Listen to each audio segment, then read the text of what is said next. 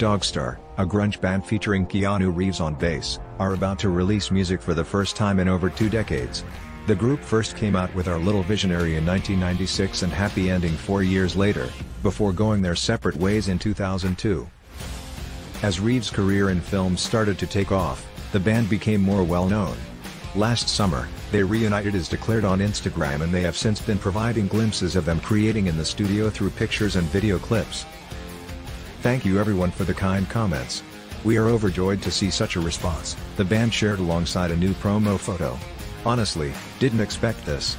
It makes us want to play out even more. We will be rolling out some new music this summer, followed by some gigs. As soon as it's all figured out we will let everyone know immediately.